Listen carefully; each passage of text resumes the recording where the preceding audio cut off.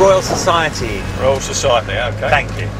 Anything in particular you doing here tonight, or is Well, it just... I've got to attend some uh, presentation of, uh, you know, the scientist Stephen Hawking. Oh, yeah, yeah, I know this. Well, I'm doing this program about equations. Yeah. And he deals with the enormity of the universe. Okay. And his tool for scientific research is the equation, the mathematical equation. Okay. My name is Matthew Collings. I'm an artist and art critic. That's what I know and understand. I'm about to enter an alien world. To me, equations have always been incomprehensible hieroglyphs. What do they describe? Are they just a mathematical game? In this film, I'll learn about some of the most important equations in science. They're actually masterpieces that explain the universe we live in.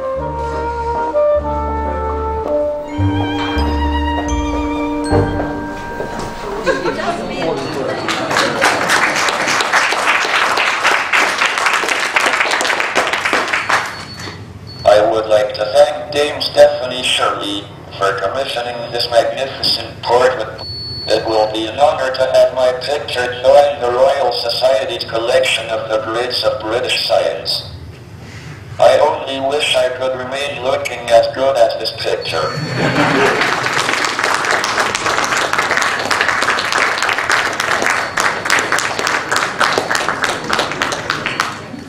With art, I think beauty is very important, and I'm always trying to define it and work out what it is.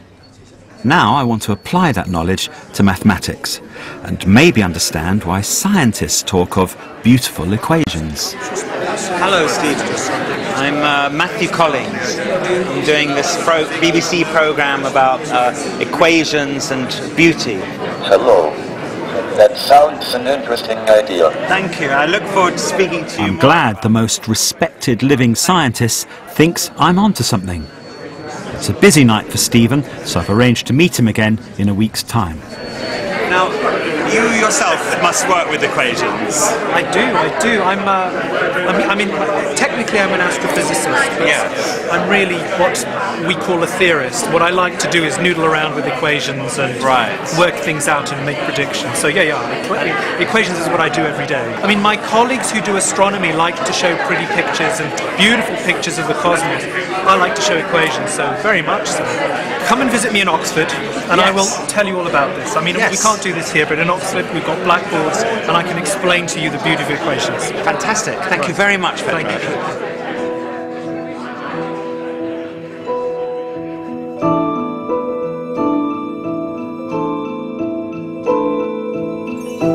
I've come to the University of Oxford to take up Pedro's invitation. And he's going to tell me about the most famous equation of all, the one that everyone's heard of E equals mc squared. This equation conjures up a whole load of thoughts in my mind.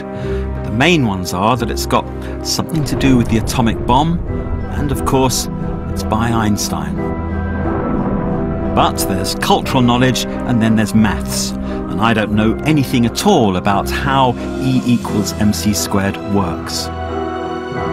When Einstein first published the equation in 1905, it started a scientific revolution.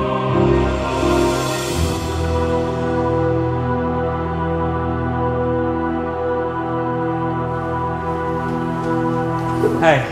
Hello. Hello, Pedro. How are you? Very nice to see you again. Thanks for coming. Uh, yeah, well, it's a pleasure. Thank you very much for having me.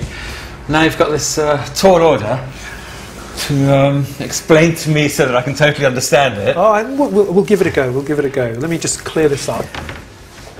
Uh oh, what am I doing? Pedro lives and breathes abstract numbers. I'm an art guy who left school when I was 13. So, what maths do you know? Well, uh, I must confess I don't know any maths, uh, any geometry, or any algebra, or anything in that realm of experience. I'm completely ignorant about all that. Okay. I know about uh, art, and that's about it. Okay. That's a good starting point. Okay. Let me get a pen. It seems a very bad starting point for me. So, what? So you know nothing about what an equation is. Only, uh, I think it's a sort of um, code or some kind of metaphor for for the natural world. It's the natural world reduced to uh, a, a formula. That's pretty good. I mean, let's start with a really famous one. Have you ever seen this equation?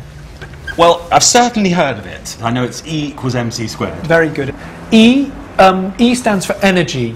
Do you know what energy is? It's a difficult question. So, uh, You're having energy as you talk to me. yes. Uh, a certain amount of energy is keeping me alive so I don't die and decay. Very good. Very good. That's the limit. Of, No, that's no, what no, I think energy is. No, energy, I mean, energy is it's kind of a, a funny thing to try and define, but the, the best way I can think of it is it's the capacity to do things. It's the capacity to lift something up, to heat something up. Okay. All right?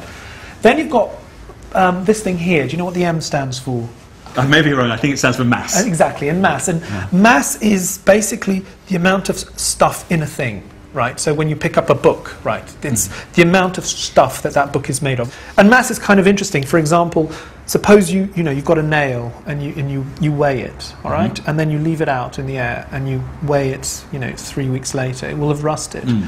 and so its mass has changed. its mass has changed. More particle things of. It's gone up exactly. It's yeah. kind of stuff has stuck onto it. There have mm-hmm. been chemical reactions. So the mass of you know it really does have to do with what it's made of and how it how it changes. Mm-hmm. And then we've got this thing over here, the c. Do you know what the c is? No. Right. There's no reason for you to know. It's the speed of light. Okay. And it's c is incredibly important because c is the speed at which light rays propagate through empty space. Okay. Okay. So I know what squared is. It means a thing multiplied by itself. Exactly, exactly. So this is a kind of fascinating statement. This is saying that suppose you have some mass, right?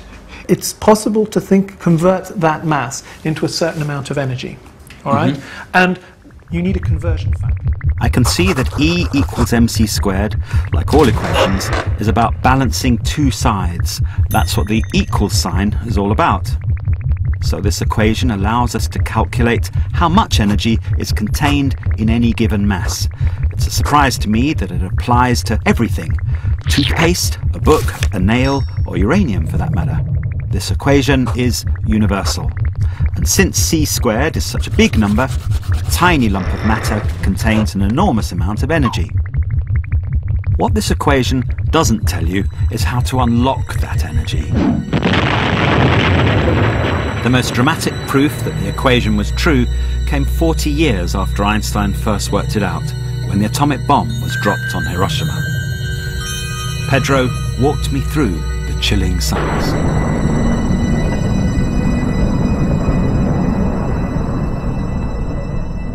You have a mass, which is something like um, half a gram, and I write it as a kilogram. Yeah. Um, you need the speed of light, and the speed of light looks like this. It's about 300 million meters per second. Okay. okay?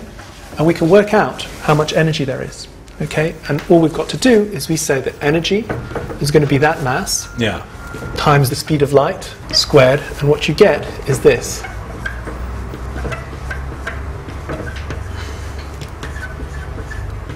Joules. This is the unit of energy. So you get a phenomenal amount of energy. Mm-hmm. Now, if I told you that this was something like 15 kilotons of TNT, hmm. from something the size of a pill, Yes. giving enough energy, Producing an explosion. which is the equivalent 15 kilotons. tons of TNT, right? I want to throw you now. I don't know if this is a stupid question, and maybe you've got nothing to say about it. But supposing the sign for squared was changed to a three, Yes, would that just be nonsense, or it would be that- nonsense. Right. We'd be nonsense, and the reason it would be nonsense is because we've we've tested it. We've got we've gone into a lab and we've tested this relationship. You know, we've we've weighed something, we've done something to it, we've weighed it again. We worked out the amount of energy that came out, and it was on balance. So the left the left side was balanced with the right side.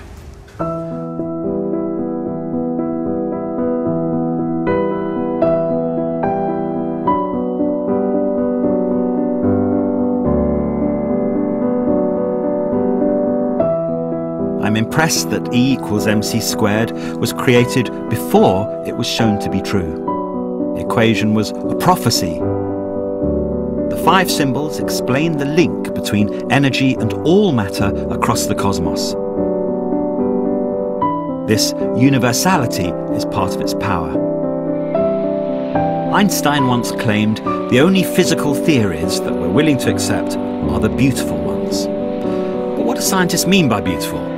Talk about equations being testable, being universal. Is that what they think beauty is?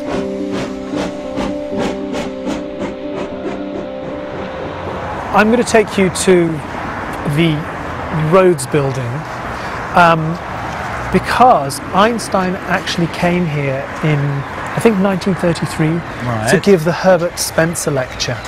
And it's an interesting lecture because it's a lecture where he basically discusses his philosophy Right. you know, why he does science the way he does and his craft, what he does as a theoretical physicist. And he basically said two things.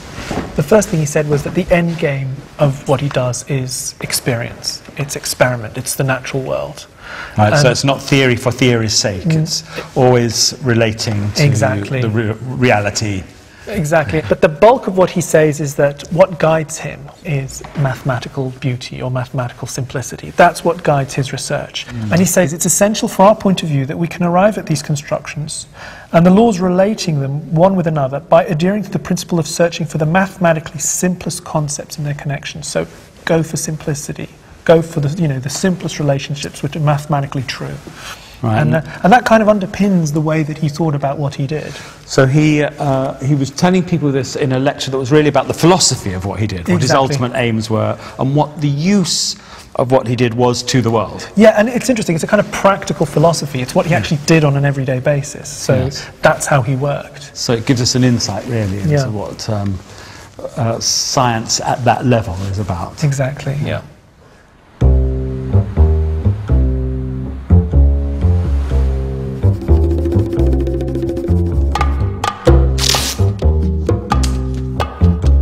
Einstein believed that the laws which govern the universe would have an elegant simplicity, and this would be shared by their equations.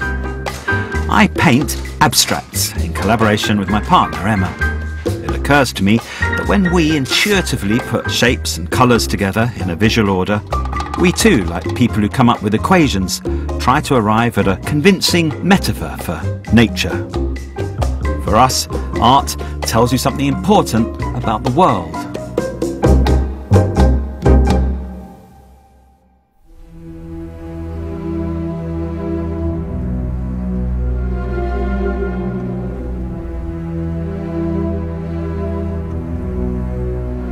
This is a coloured engraving of Isaac Newton by William Blake.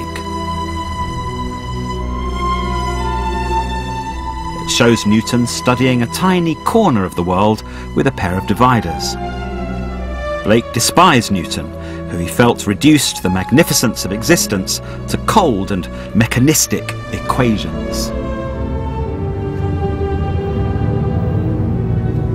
So today, I'm coming to a place where I'm actually going to find out a bit more about what Newton actually did. This is Newton's house, where he developed his ideas on gravity. I'm going back to the 17th century because it's when scientists first used equations to try to explain the natural order.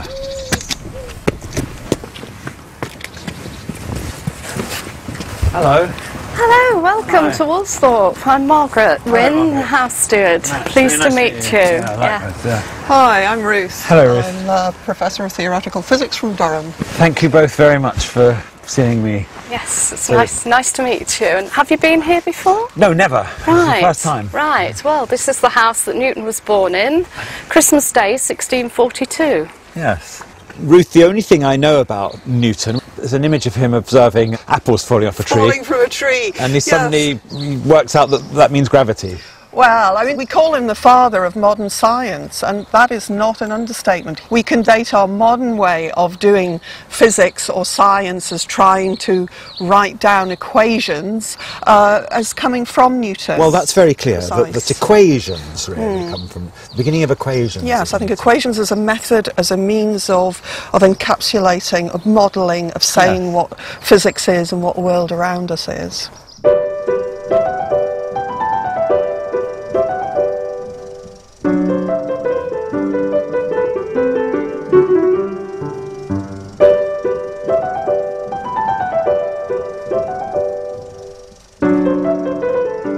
Why do you think the image of the apples falling is needed in the mythology of Newton? Well, I think it's the link more than anything else. I mean, if we take an apple and just sort of look at what happens as it sort of goes up and down under, under gravity, what so gravity is something that I think we often take for granted, and the apple falling.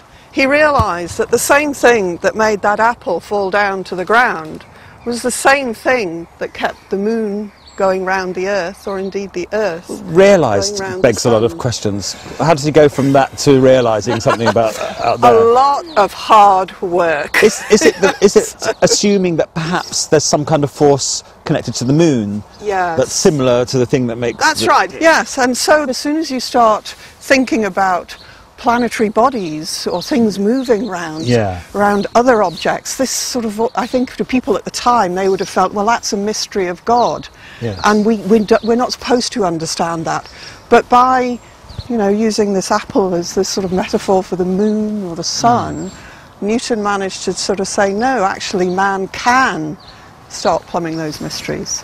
Um, I'm absorbing everything you've told me, and as I'm starting to freeze a bit, let's just Shall we- wonder- Let's maybe move. we go in the house. Shall we go up to But the is it? Um, you, you talked about he didn't want his theories to be thought of as the final word. I suppose it's the nature of theory that it's never the final. Word. Newton realised that mathematics could provide a precise and universal language to describe things as diverse as the fall of an apple and the orbit of the moon.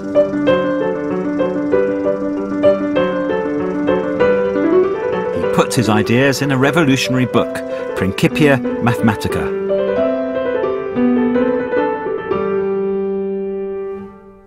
Can barely tear my eyes away from this. That is our very prized possession, Wow. the, a third edition copy of the Principia Mathematica. And if we turn to the relevant page, I'm going to leave you to Thank you very much. book. That's wonderful. um, so, well, I mean, the first things that we notice here is not a single equation, having talked about Newton as being the father of modern science. Yes, yes. The other thing is, of course, it's in Latin, which Yes. was the What a uh, nightmare. language of uh, It's hard enough. universal language at the time. Propositio 8, Theorema 8. Yes, so this is essentially, he is giving us his equation for gravity in words. Mm-hmm. So he starts off, si globorum duorum in se mutuo gravitantium materia undique in regio univers, quae a centris equaliter distant. Newton's written version eventually formed the basis for the equation for gravity. So I want Ruth to unpick the different elements, a mathematical version of the words. I notice you have a book there. We could try and translate what he said into one of these beautiful equations. Uh, if you Absolutely. like. Find a blank Your page. painting. Anywhere will do. Right. So we write both of these objects as M1 and M2. Okay. So these are just the masses. Yeah. But then Newton talked about the force between the two spheres, these Yeah. two bodies, is inversely proportional, which means we divide, to the distance squared. The So, two bodies or spheres could be any size the Earth, the Moon, or even an apple. And this is G for gravity. Right. And it's actually called Newton's constant. You've, you've written out an equation for me there. yes. And earlier, you threw an apple in the air Yes. and it fell to the ground. Mm-hmm. Can you give me some numbers that will show me Yeah. what the apple is doing? So let's let's talk about the apple. Okay. So one of the M's is an apple. An apple. What does an apple weigh? Half? No, not half. Dear you, are, you get a pound of apples, so I guess that's about four apples, so it's a quarter of a pound. We work in kilograms. Two hundred. Yes, let's, sh- grams. let, let's just say it's 200 grams. But is the other M the Earth? I see. You don't 'Cause we don't know- do you? You know, you know this I'm already. guessing. but I don't know how much the Earth Well, I can, rarely buy yeah, one. Uh, well, well, I can give you a rough idea. Yeah. 5 times 10 to the 24 kilograms. Got it. So what So this... 10 to the power of 24. 24, which is a trillion trillion. Okay, good. Now, the radius of the Earth is 6,000 kilometres. Right. So, 200 gram apple, Mm-hmm. several trillion kilograms earth. and radius of Earth It's 6,000. Now, what I'm going to do is cancel all those off to make it easy. Okay. Then what I end up with is a simple 10 on the top times the 0.2 of the apple. So what this tells me is the force the apple feels is its mass times this 10. And this is Mass times 10. 10 is this is the sort of how fast gravity is going to cause the apple to start to fall. So the force on the apple here is simply 2 and that unit is called the Newton. Ah, N for Newton. N for Newton. Fantastic. The number of newtons measures the force of gravity acting on the apple. It's a complicated equation, but I'm beginning to understand the key parts. The force depends on the mass of the two objects and the distance between them. The bigger the objects, the bigger the force. And the further apart they are, the weaker the force. The two masses, M1 and M2, could be anything. The Earth and the apple, or the Earth and the moon, or the Earth and the sun. Ruth told me Newton's equation allowed us to understand why the moons and planets move around the solar system. His equation seemed to make sense of, well, the universe.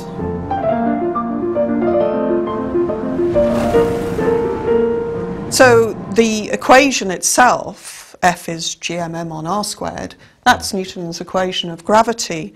But how we, how we use it, this is a sort of process, you know, Yes. doing science, Yes. of, of calculating things, of making predictions. You've now shown me how we use that equation. how we would use it. Yes, this is our paint, really. How we paint the world. We paint it in equations. You know, Hmm. in fact, uh, we use that a lot. We say, oh, "I'm painting."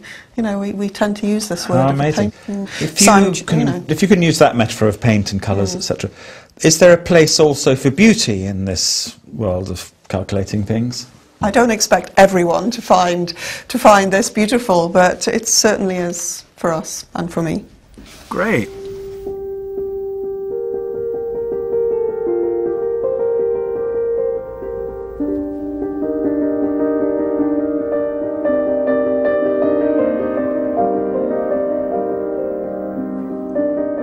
Few decades after Newton came up with his law, it was used to successfully predict the return of a comet, Halley's Comet. His law of gravity had been confirmed.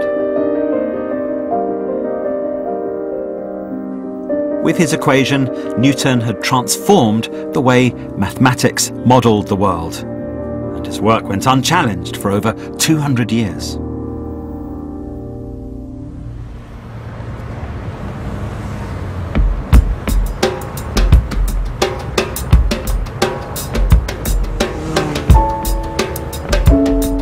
Everything changed at the beginning of the 20th century with the arrival of Einstein and his theory of relativity. In that same decade, something else entered, and that was modern art. In the world of art, many believe that Picasso was involved in the same revolution as Einstein. Weirdly, the one place in which I had heard about relativity before embarking on this programme was art school when I was young. As art students, we all had to absorb the idea that relativity had something to do with cubist paintings.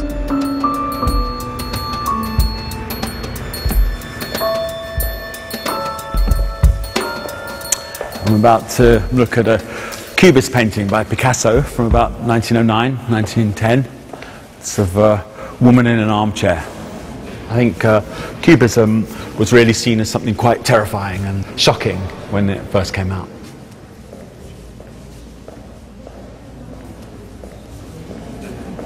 It's not like a, a Renaissance painting where you feel you're looking through a kind of window onto the world. With Cubism, the artist is deliberately confusing you as to where things are and indeed what things are, so that uh, the uh, space in the room seems to be eating into the side of the woman, and the textures of the room seem to be no different from the textures of the woman. So there's all this moving around of um, objects and space in a way that is deliberately confusing if you were thinking, well, where is the thing that looks like ordinary reality?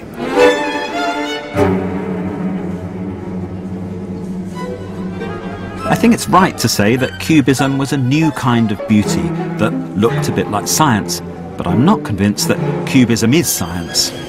I've arranged to meet historian of science Arthur Miller, who's going to attempt to change my mind. Uh, I've got to tell you, Arthur, that at art school and subsequently, I, I felt oppressed by the idea that I had to think of a connection between Einstein and relativity and Cubism, Einstein and relativity and Picasso. But there is one in the sense that I'll say it, they both, they both worked on the same problem, nature space and time. Okay, the, the, the connection is that time and space are important to them both. That's right. But where I find um, the proposal difficult is that just because he's doing something with time and space, that he's therefore something like um, Einstein, or, or, or, that Cubism is something like science. I oh, think Cubism was very much of a scientific research program. As I said, it had, a, it had a, a, you know, uh, an explicit intent to reduce forms to geometry. And uh, Picasso, we know, was influenced. Why is that scientific and not artistic? I mean, medieval artists reduce forms to geometry, and, and African artists reduce it to geometry, well, archaic art reduces it. That's because uh, Picasso had in mind scientific texts as, as, a way, as a way to do it. For example, we know that he looked at a text written by a mathematician, and the text discussed how you represent in four dimensions complex polyhedra. And Picasso took a look at these, of course, he didn't know what the equations meant, but when the, the, the author of the book specialized the equations to two dimensions and then could generate um, illustrations, Picasso was interested in illustrations. Okay, it's, it's correct to call Picasso a revolutionary artist, it's not hyperbole. But for me, I don't know enough about Einstein to see the way in which Einstein is a revolutionary too, or, or how Einstein's ideas uh, and Picasso's are the same level of revolution and also going in the same direction? Well, Einstein was a revolutionary scientist because what he did was to uh, go take the next step beyond Newton. Newton. Newtonian science is based on our sense perceptions, that all time, your time is the same as my time. Uh, what Einstein was able to do was to raise, raise himself to heights of abstraction so he could glimpse a world beyond appearances, the real objective world out there, where there is scientific truth. I still think the connections between Einstein and Picasso are more superficial than substantial, but I am very interested to hear more about Einstein. Arthur will attempt to explain to me one of the key equations of the special theory of relativity. When Einstein came up with this equation, he wasn't even officially a scientist the days when he wrote the relativity theory, he worked as a patent clerk in the Swiss Federal Patent Office in Bern. In fact, he worked there from 1902 to 1909. Uh, he was also a conscientious daydreamer. And in his dreams and visions, he soared over the landscape of physics and realized what the fundamental problem was, the nature of space and time. Mm. And people were beginning to think that uh, maybe there was something wrong with classical intuitive notions of space and time, but they couldn't put their finger on it. Yeah. And what they especially wanted to do was to leave alone the notion of time. Why was time sacrosanct? Because it was obvious what it was, it didn't need any more inquiry, or, or they were afraid that they couldn't find out anything It seemed more? that your time's the same as my time. Right. Uh, no matter how fast we're moving with respect to one another. Yeah, there's, uh, nothing, there's no mystery there. We know what time is. That's right. It's like Superman said, leave time alone.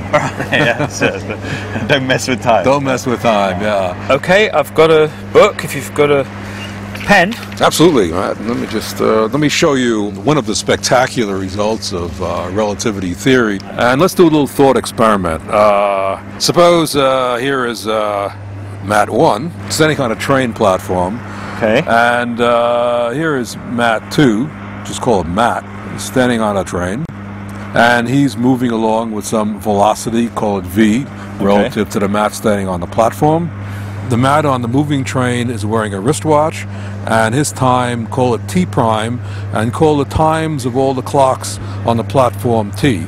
And what we want to do is to compare the time on Matt's wristwatch with clocks that remain at rest on the platform. All they all read the same time. But I'm, I'm going to assume that even though the clocks are at rest and my clock is moving, that they're all the same. They're all the same. Clocks yeah. always tell the same time, Yeah. if, if, assuming they're all synchronized. Yeah, one would one would think so. Yeah, and let's call the Matt on But the you're, train. you're going to show me that they don't move. Yeah, I'm going to show you that they don't. Convince you that they don't. Uh-huh. T prime and T. And T prime and T.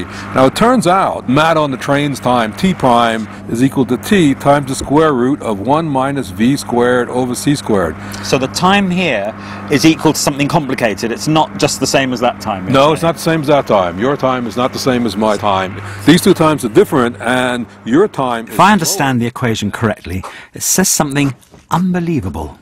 That time runs at different rates depending on how fast you're moving. Take a train zooming through a station. This equation predicts that a clock on the train, reading time t dash, would run slower than clocks reading time t on the station platform. I've never noticed it, and here's why. This bit of the equation is what makes the two clock times different, but it only has a significant effect if the velocity v of the train is very fast, close to the speed of light. And if the train could reach the speed of light, you get 1 minus 1, which equals 0. And then t dash equals 0. Relative to the platform, time on the train completely stops.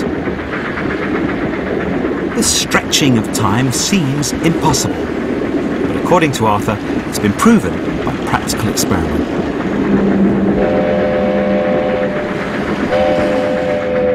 Now that's really something. That's wild. And he realized that's because time is a relative quantity. Just as I just as I discussed with you. Right. That your time is only the same as my time if we're standing still next to each other. Yes. But if you go away and come back, your clock, although it would be very difficult to perceive it, will read a slower time than mine. Well, I'm taking in a lot, a lot of what you're saying, so that I'm far more informed than I was before you spoke. Good. But the thing that that I've that that's really big for me is this idea of the physical nature of time, uh, and, and that seems a marvelous idea. Oh, it turns out that uh, there's not space and time, there's space dash time. Right. in other words, they are a co- they That's are right. a single Time- entity. that's single entity the right entity. word? Yes. Time and space are connected by the velocity of light. That was definitely the hardest equation so far. Not just the maths, but because of the ideas it contained. You might be worrying about time on a tube train, but you wouldn't think time was actually changing shape. Einstein worked out that time and space are inextricably linked through the speed of light. That was a thought that it was simply impossible to have before. Reality had changed, and Einstein did it with equations. I'm beginning to get a crush on science. Before, I literally didn't know what an equation was. Now, in some ways, I know the basics of what an equation is. But I also know the implications of what an equation is. So there's a sort of uh, excitement about the philosophy of an equation or the use of an equation in some kind of profound way as opposed to something like a railway timetable that tells you very detailed information. You know, the process of, in, of, of learning is a mixture of pain and pleasure. It's quite hard to dislodge your, the pattern of the world that you've already got in place and, and bring in a whole load of new stuff.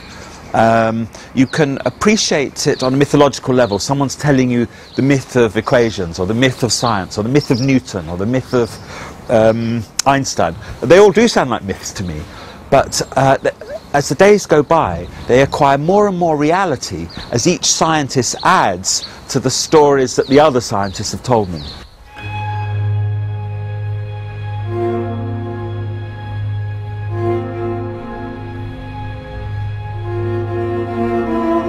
One scientist who stands out in the story of equations because he took the idea of beauty in science further than anyone else.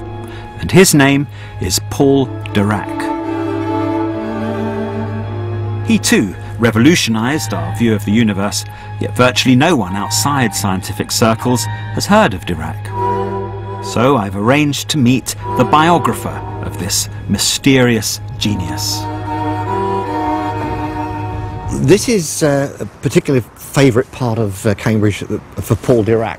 Dirac was the greatest English theoretician since uh, Isaac Newton, and that's how that's his reputation in 1927, when he was uh, looking for what became his greatest achievement, his equation.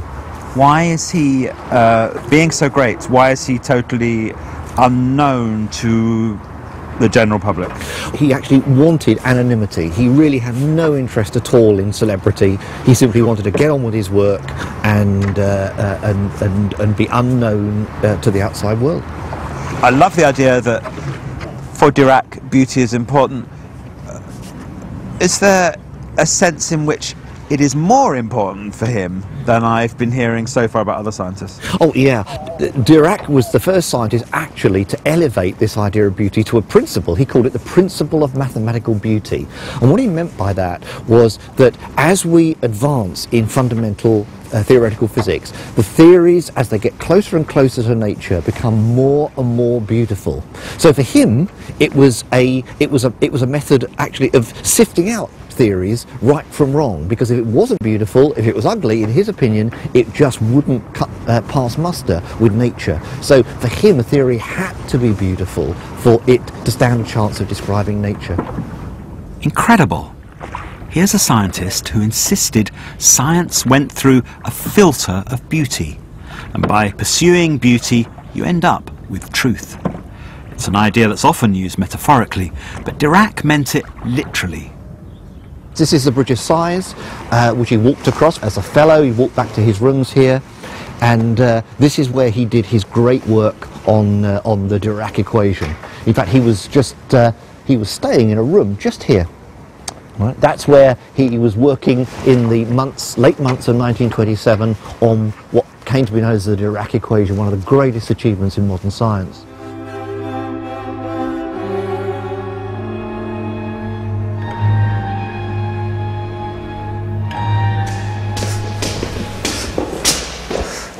Here we are, room A4, New Court, where, where Dirac discovered his This is his room. equation. Completely free of distraction. The only noise you get, a little bit of noise from the punters outside. Apart from that, no radio, just nothing. Uh, Dirac was not given to luxury. In the late 1927, all he did apparently was to work on that equation. Tell me about that equation. Mm-hmm. What, what, what was he trying to accomplish with it? Well, what he was trying to do was come up with an equation for the electron, the first fundament, material fundamental particle uh, to, to have been discovered. And What does that mean, first fundamental Okay. material Well, uh, no, no, okay. Uh, uh, uh, a, a, a fundamental particle has no constituents. It's a completely basic particle. You can't subdivide it. Right. So the point of the tiny, tiny, tiny thing, this electron, Mm-hmm. is that nothing else is more basic than it. That's right. So you have a chance of giving a, of giving a fundamental description in nature. Uh, I've got a notebook in my bag. Mm-hmm. If I give that to you and you find a blank page, Yeah. and I then give you my pen, All right. could you write out for me the the, th- the equation I that will. Dirac came up with? I will.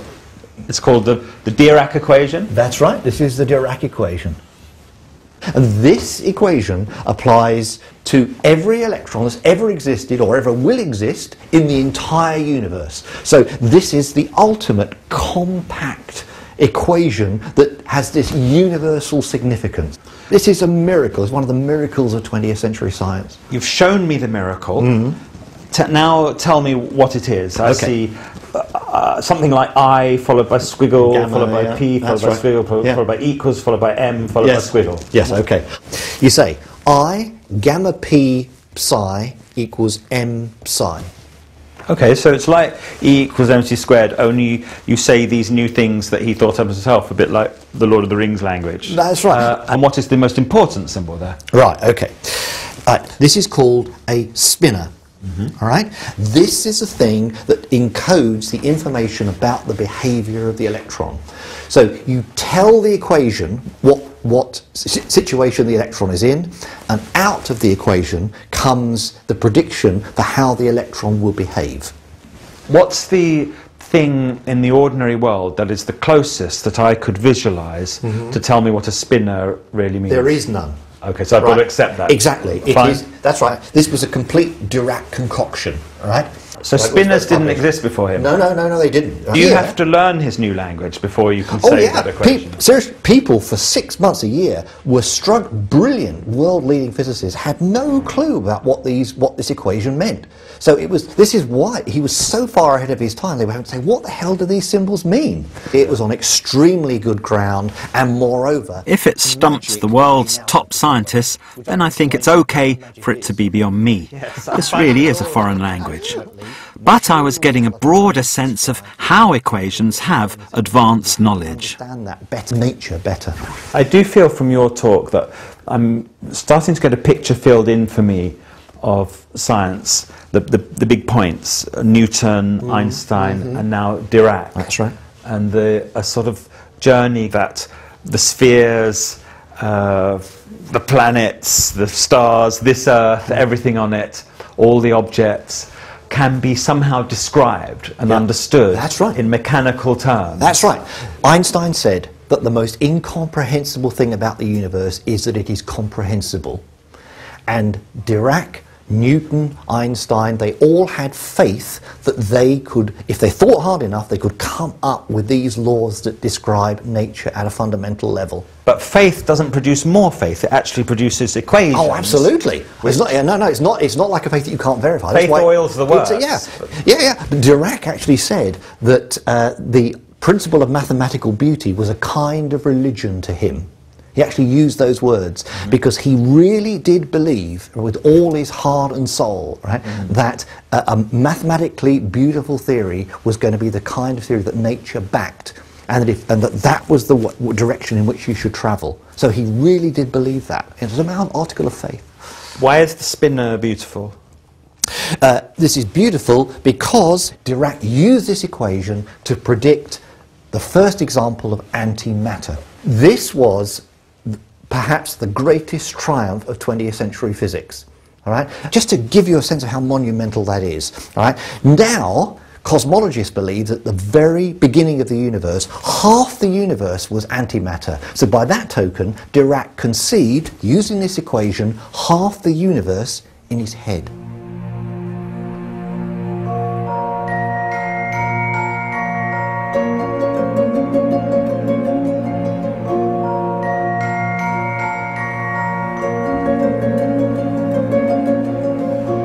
Scientists now stand in awe of Dirac's equation, but at the time, things were very different. In the late 1920s, antimatter was totally unknown. The idea that every electron, proton, and neutron had an opposite partner was preposterous. If his equation predicted this make believe stuff, then it must be wrong. Okay, so um, what we can do now is go into the teaching lab. And What we have is an experiment set up where we can actually see tracks of particles produced by antimatter. So you'll be showing me some antimatter in action. Five years after Dirac came up with his prediction, antimatter was discovered. The equation had turned out to be true. Now, I too want to see the proof. This is the first practical place I've been to on this one. I'm surprised at how quaint everything looks. This is a very simple experiment. This is very low tech. Yes. And you could do this in your kitchen. Yeah, really. Okay, so um, this is a magnet. Actually, we can see it's a fairly powerful magnet. And we're going to put dry ice on here, so that will be very cold. Okay. The sort of cookery element at the moment. It is. Cooking uh, This is the first fish in salt. Yeah. The magnet. Okay. Now, the Perspex box is going to go on top, and uh, there's alcohol that we put in the upper layer. And uh, in order to see the tracks, they're actually quite faint. We have to illuminate it with a very bright lamp. Okay. And then one of the other ingredients that we should uh, explain here is the radioactive sources that we're going to use. So uh, we have two radioactive sources. One emits uh, electrons, Yeah. uh, and the other emits positrons. And so Yeah. what we have here is an isotope of strontium called strontium-90. Glenn told me that these radioactive materials would let us see the tracks of electrons, and more importantly, the antimatter partner to the electron. Known as the positron, this is the particle predicted by Dirac's equation. It emits positrons, and we'll see tracks that are very similar, right? Maybe slightly lower energy, actually. Uh, and they will be bending to the left. Okay. And, and so that really is the demonstration that we have two types of particles that uh, really look very similar in terms of the tracks that they make, except that one is positively charged and the other is negatively charged. This rather quickly. So I've seen Yeah, a couple. yeah, yeah. I saw one going that way. And furthermore, they should be bending to Yeah. the right, and they are. They're, Uh, they're thin and irregular. It's like a string of beads almost.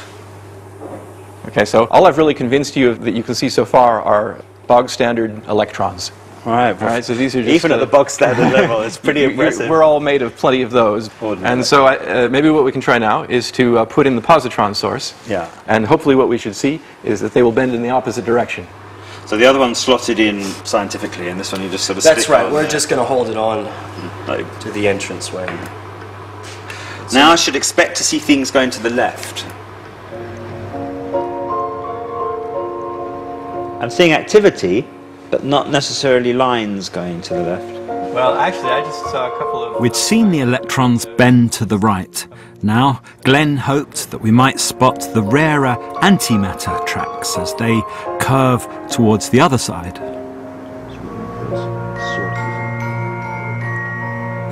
That one there, there we go. very, very clear. There you yeah, go. very, yeah, There fantastic. so that that's the first time in this experiment that I've seen the antimatter. There you go. That was definitely coming from the source. The amazing thing is to have something from a sort of comic world of science fiction, antimatter, to have it uh, presented to us in uh, in reality.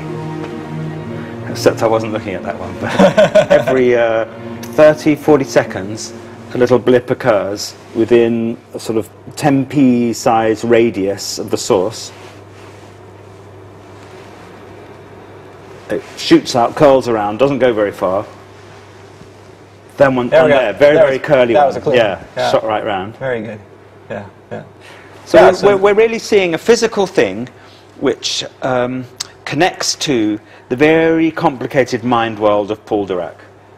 That's right. Somehow the, the existence of antimatter, you know, emerges as a necessary consequence of, of the theory that he wrote down. Yeah. And, and that's pretty difficult to see, to just look at his equation and say that should give us antimatter. But really, if you analyze it carefully, uh, it's, it's clear that that is one of its necessary predictions. And that's what you're seeing. So those curves and blips in that sort of molten sea is the Dirac equation being you go. shown to us in physical form.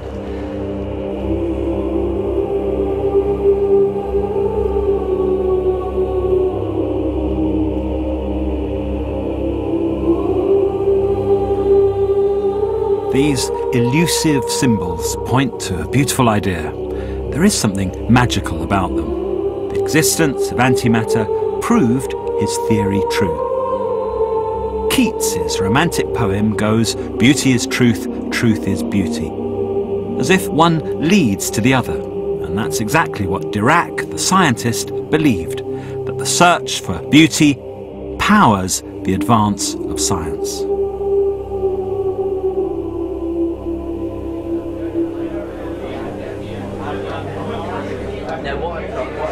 I'm reading a paper by Dirac, which he uh, delivered in uh, February 1939. He says, What makes the theory of relativity so acceptable to physicists, in spite of its going against the principle of simplicity, is its great mathematical beauty.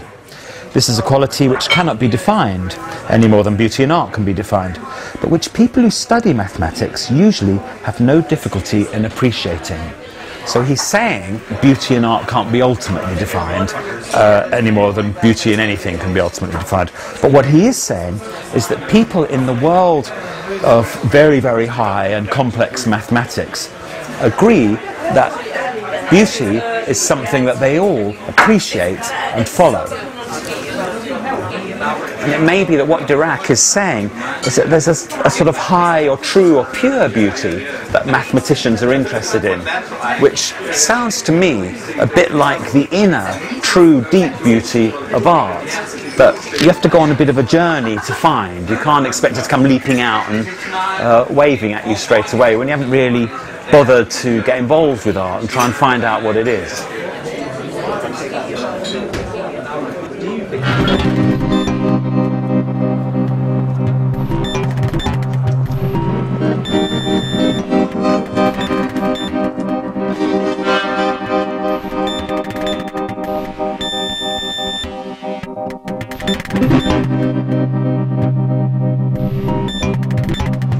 Like these buildings very much, but I think they have a sort of comic element.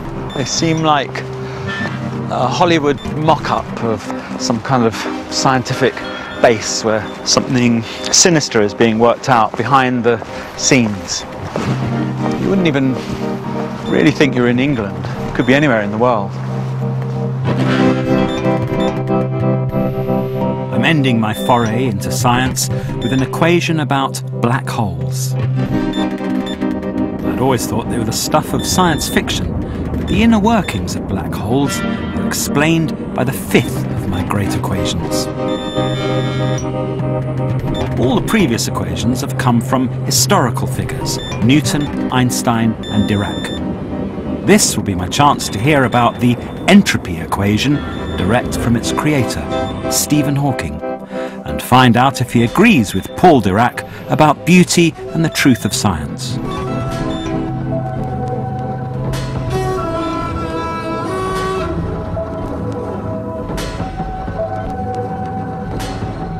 Thanks very much for allowing me into your department, Stephen. Can I ask you straight away, is beauty important for you in your scientific work? I don't know about beauty, but the fundamental laws of the universe should be elegant. What do you mean by elegant? An equation is elegant if it is short, simple, and explains properties of the universe that were previously not accounted for. My most elegant equation is very simple. It is S equals sub order A. Here, A is area of the boundary of a black hole, and S is its entropy, a measure of how much heat it contains. What does that mean?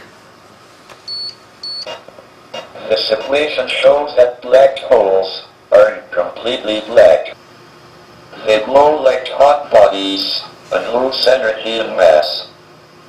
Eventually they will disappear in a tremendous explosion. Why is that an elegant equation? The equation came from a rather messy calculation. It seemed a miracle that such a concise equation should result. This equation unravels the physics of black holes, one of the most mysterious objects in the universe. As I understand it, the equation says that as stuff falls into the black hole, the surface area of the black hole gets bigger, and the entropy does too. In 1975, when Stephen Hawking came up with his equation, there was still some doubt as to whether black holes existed. 35 years on, all scientists agree they do. Black holes have entered the realm of science fact. While making this film, I found out that uh, Paul Dirac believed that it was more important to have beauty in one's equation than to have the equation backed up by actual experiment. Is, is this too extreme a view for you? I think what Dirac meant was that although a beautiful equation might not agree with experiment at a particular time, it will eventually turn out to be true in the long run. I think elegance is a good guide for equations, but not an infallible one. In art, a- an artist like Picasso, say, he'll just be working from hour to hour, from work to work, pushing his ideas along with his work. He doesn't necessarily think, now I've discovered cubism. That's a, a sort of accolade which will be bestowed on his work a bit later by other people. But he probably will at some point think, I have made some kind of breakthrough here. And I wonder if that breakthrough feeling, if there's an equivalent for you in your type of inquiry. There's nothing like the eureka moment of discovering something that no one knew before. I won't compare it to sex, but it lasts longer. Okay. Thank you very much, Stephen. Thank you.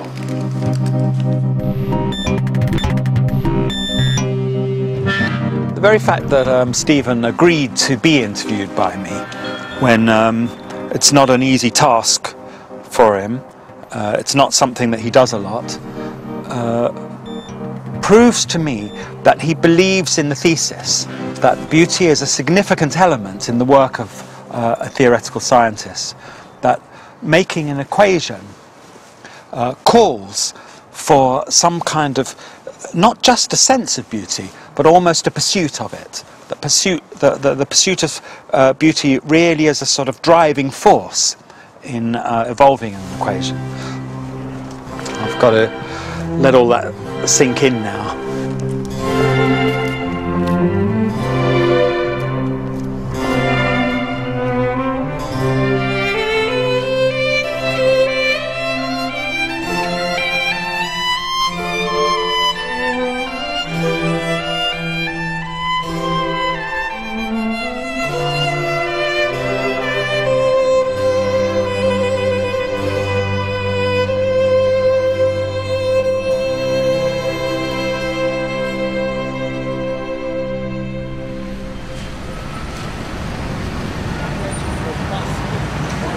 Been very happy to have my head crammed full of unfamiliar ideas, but now there's one more thing I need to do. Hello, Kerry. How nice to see you. Hello. I'm at the opening of my own exhibition, the work I do with my partner, Emma. I've invited the scientists, and most of them have turned up. I wouldn't say there was. Um... Throughout this film, the word beauty has often cropped up, but it's hard to define, and I can't help but feel that while there are similarities, there are differences too in what artists and scientists mean by beauty. Sorry, which older paintings? You mean all, these all white paintings? Ah, I see what you're saying. White paintings and colour paintings. We do all these. Ah, right. So this is. I try to imagine what uh, Paul Dirac would make of this painting. I, I, my guess is he would ask you what you were representing here. Yes. Because he had a very literal, literal mind. Yes, yes, I know what you're saying. What would, uh, what, what, uh, are you conscious I that don't you're think there's, representing anything? there's no representation in the room at all, but there, I think there is the idea of a model of the visual world. Yeah. I. There's a lot going on. There's a lot of them. You come back in a couple of minutes and look at something else, and you can't really find that order again. You find another. And that's, that's really the point of them, that they should have a restlessly changing sense of order. Yeah, but like looking at a fire where the fire's always looks the same, except it's never exactly the same. Exactly. Anything in nature that is kind of permanent and changeable Mm. all the time.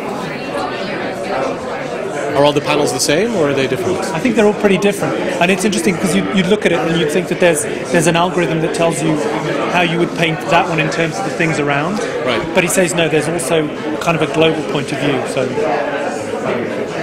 um, Non-repeating pattern of some sort. exactly. Ultimately, it is highly mathematical, but actually, there's no. ma- We didn't sit down and work it out. Right. It has. It has. no well, randomness is also mathematical. It's interesting to see, uh, you know, mathematical symmetries come out of aesthetic pursuits. Well, that, that's arrived at entirely. All my life, science has been totally out of my orbit. What was so illuminating for me in this program was to find out that equations are the most important tool in science, forever pushing the boundaries of knowledge. And that the greatest and most beautiful equations have a life of their own. Given us ideas beyond the human imagination.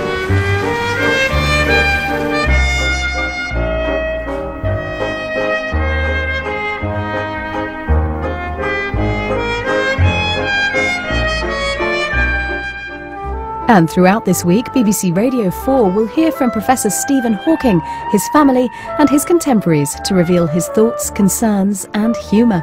Dear Professor Hawking is on BBC Radio 4 each afternoon this week at 1.45. Next this evening, though, we're off to the subcontinent for a trip on the Indian Hill Railways.